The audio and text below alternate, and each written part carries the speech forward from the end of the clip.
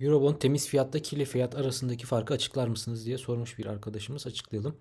Şimdi Ziraat online olarak açıklayalım canlı yayında ve gerçek fiyatlar üzerinden. Ee, Ziraat internet mobil internet şubesine giriş yaptım.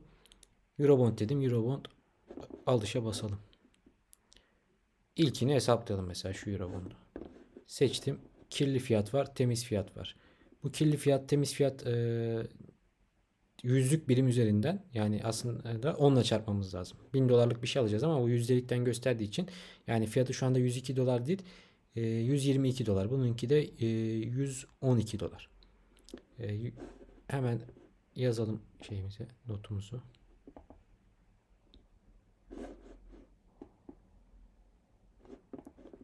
Şimdilik bu fark neden kaynaklanıyor? Bakalım.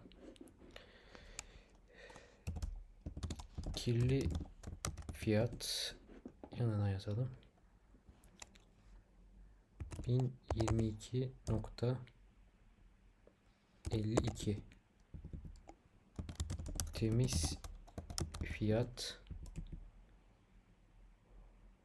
eee 1012.3 değil mi?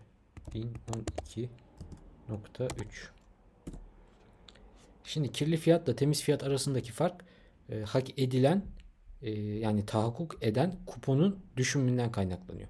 Şimdi bu Eurobond ne kadar kupon veriyor bulacağız. E, sonra da bunun vadesine ne kadar gün var ona bakacağız. E, hangi günler arasında veriyordu? 6 ayda bir veriyor değil mi? 6 ayda bir veriyorsa 180 günde bir veriyor.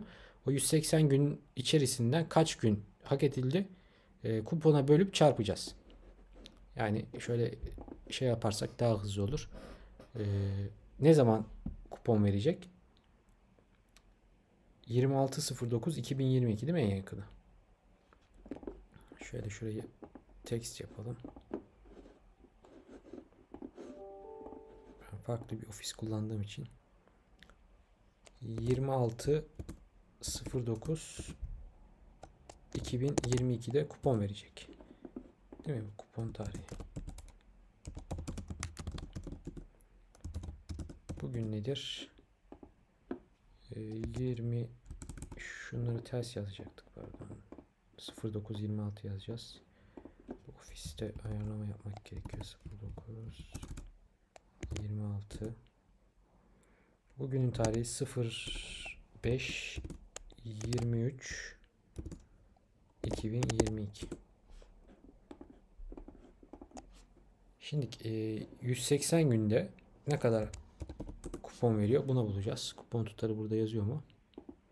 Yazmıyor. Devam diyelim. Nominal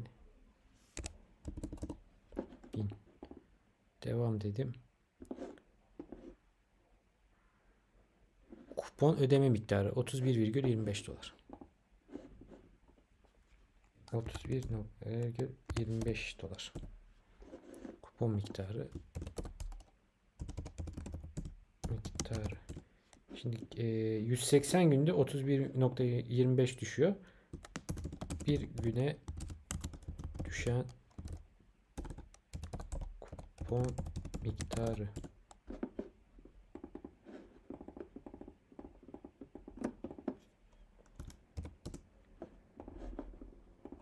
eşittir 180 şunu.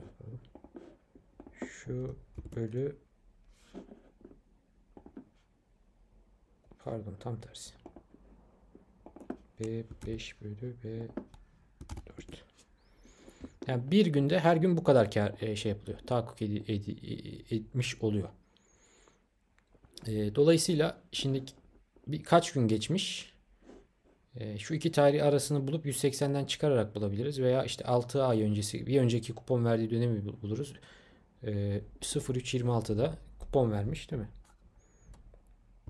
03 26 2022'de bu kupon vermiş. Dolayısıyla bugünden bunu çıkartıp şununla çarptığımız zaman bugüne kadar ne kadar kupon hak edilmiş buluruz. Şu aradaki fark da şu ikisinin arasındaki fark da buna eşit olur. Şuraya eee, son kupon ödemesinden bugüne geçen süre. Yani ya şu iki tarihi bulup 180'den çıkartarak da bulabiliriz. Direkt e, şununla bu, bu, bunu çıkartabiliriz. Neymiş? D2 D3 eşittir days D2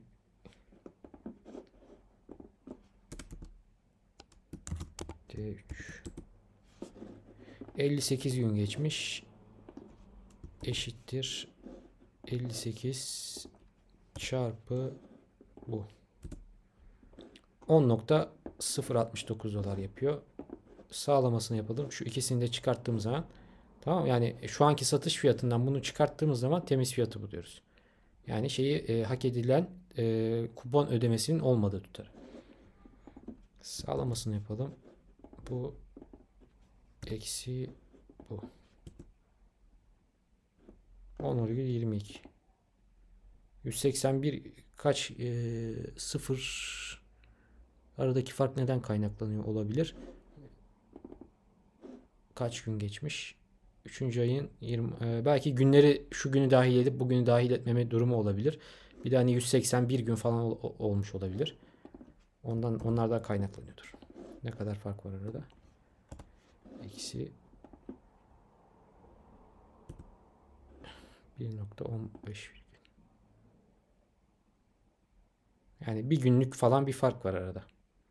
E, büyük ihtimalle bir ayın 30 30 günü, 31 günü gibi bir şey vardır veya bunu dahil etme, şunu dahil etmez, bunu dahil eder ya da ikisini dahil etmez. Onu şey yaptı. Bir, bir gün şaştı şu anda hesabımız. Yani mantık aynı.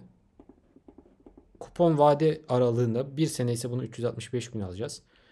Ee, işte 6 ay tam 180 30 gün olmadığı için bazı aylar fark vardır. E, kupon miktarını gün sayısına böleceğiz. İki gün arasındaki farkı bulacağız. Bir güne düşeni bulacağız. O günden son verilen kupon tarihinden bugüne ne kadar düşmüş onu bulacağız. Onu da fiyattan çıkararak temiz fiyatı buluyoruz. Kirli fiyat da kuponun e, şeyi dahil, tahakkuk eden karları dahil. Bunda ileride şeylerde kullanılıyor. Eurobond satışında vergileri hesaplarken e, çoğunlukla oralarda kullanılıyor.